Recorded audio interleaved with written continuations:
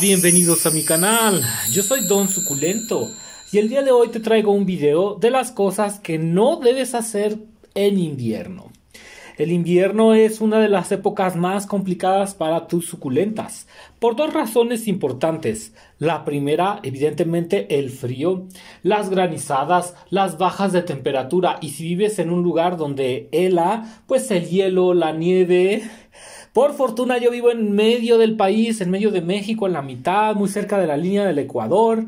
Y entonces pues hace calorcito, a pesar de que ha estado haciendo algo de frío, por la tarde tenemos 21 grados, 20 grados centígrados. O sea, somos afortunados, soy afortunado. Pero en la noche sí hemos llegado a tener pues a lo mejor unos 10 grados, 8 grados, 3 grados, ¿no? Lo menos a lo que he llegado a estar, pues se supone que son alrededor de menos 5 grados centígrados, pero yo la verdad no lo he sentido de esa manera. Entonces, hoy te voy a dar mi lista de recomendaciones de lo que no tienes que hacer durante el invierno. Aquí te muestro una hermosa Echeveria Joyce. Es una belleza. Mira nada más. Esta ya necesita un cambio de tierra. Pero en invierno no hacemos trasplantes de ningún tipo no hacemos trasplantes, no cambiamos de maceta, nada amigos. El invierno normalmente lo utilizamos para que nuestras bellas suculentas se pongan a descansar.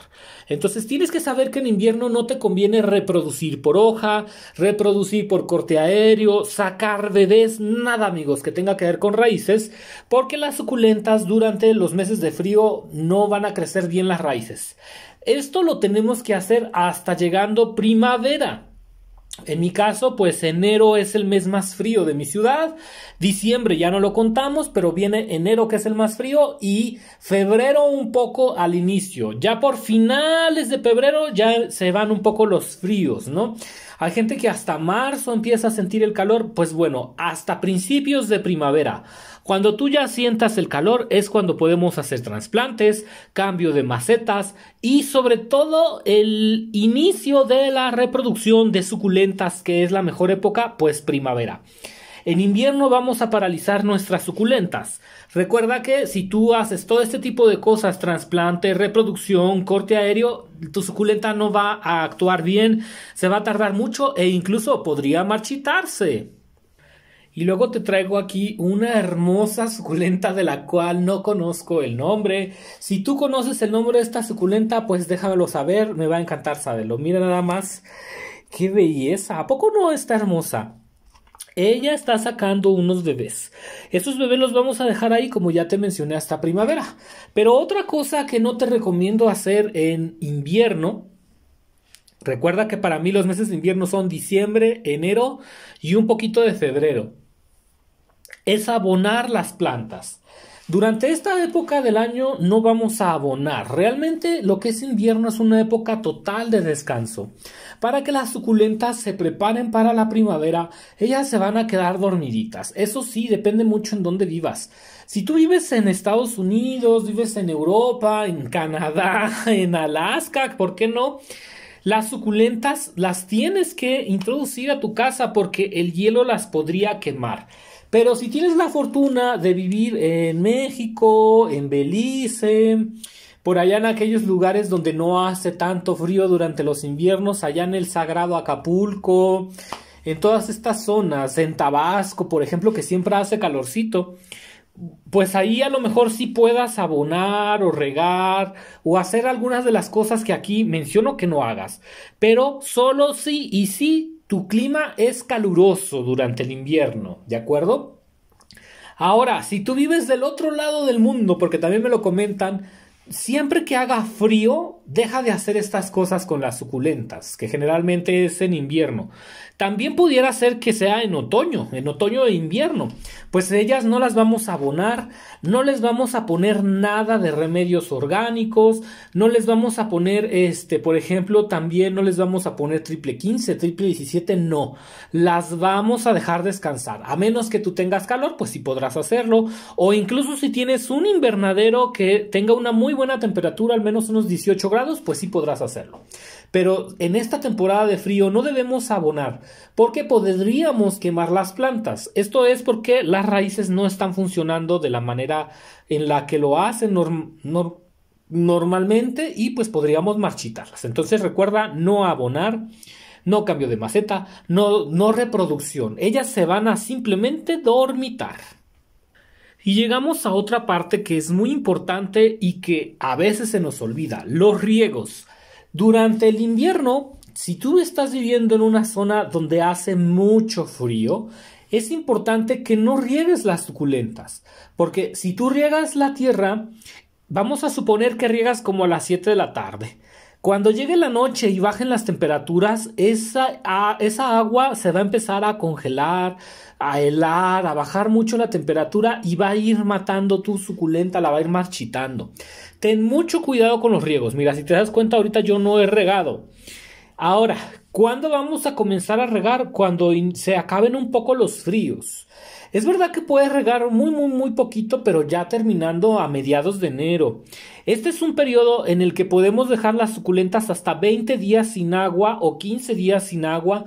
Podemos dejar 15 días, venir y regar muy poco. Y no vamos a regar las hojas, solo lo que sería la macetita se riega sobre todo como a eso de las 11, 12, ¿para qué? Para que esté eh, fresquecito, pero que tampoco esté tan frío y que no haga tanto sol como a las 11 de la mañana podemos ponerles un riego ligero, pero muy poco. Y ese es un riego invernal. Ahora, ese riego se hace muy poquito solo para que la suculenta no se nos vaya a deshidratar. Eso sí, siempre y cuando tengas calor. Si por ejemplo nevó, está helando, pues ahí sí no vamos a regar hasta que comience a salir el sol. Esto es muy importante porque si tú riegas es muy probable que durante la noche del frío esa suculenta se te vaya a congelar. Y cuando las suculentas se congelan lo que pasa es que se vuelven vidriosas, se vuelven como de hielo y se congelan y ya después que se descongelan nos vamos a dar cuenta que la suculenta se marchitó. He visto algunos videos y he visto algunas cultivadoras y cultivadores de suculentas que durante esta temporada invernal se les hicieron hielos o suculentas. Para evitar eso, te recomiendo utilizar un plástico grado invernadero, plástico lechoso y también una malla sombra Rachel, que son muy buenas para evitar el frío. Si quieres que te hable más acerca de ese tema, por favor déjame un comentario para expandirme acerca de las mallas sombras que yo te recomiendo para evitar el frío. Lo que sí es que si tú usas una malla sombra, un plastiquito lechoso, cualquier cosa que ayude a que el frío no pegue en tus suculentas, te va a ir maravilloso. Si tú vives en una zona muy fría, no te va a quedar de otra que meterlas dentro de casa. Y eso va a traer algunos problemas como la etiolación. Aquí, por ejemplo, traigo un híbrido de imbricata y mira cómo se está etiolando. ¿Por qué se tioló? Pues porque las he estado metiendo y sacando, metiendo y sacando.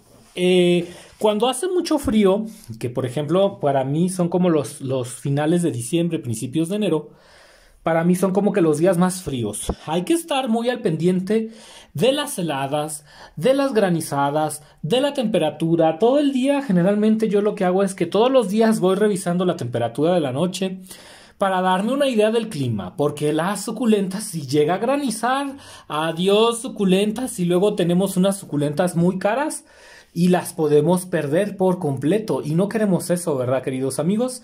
Entonces, a veces lo mejor es meterlas dentro de casa, que hagas la sala hacia un lado, quites una mesa, pongas otra mesa, las colocas arriba de una mesa y luego abajo y hagas espacio en tu casa para evitar el frío, porque el frío puede destruir suculentas de un día a otro, sobre todo si graniza, ¿no? Entonces aquí en mi ciudad a veces graniza y esas granizadas terminan por romper todas las suculentas. Entonces es mejor que durante las 7, 8, ya como las 9 yo meto las suculentas a mi sala todos los días así hasta que se termina la época de invierno.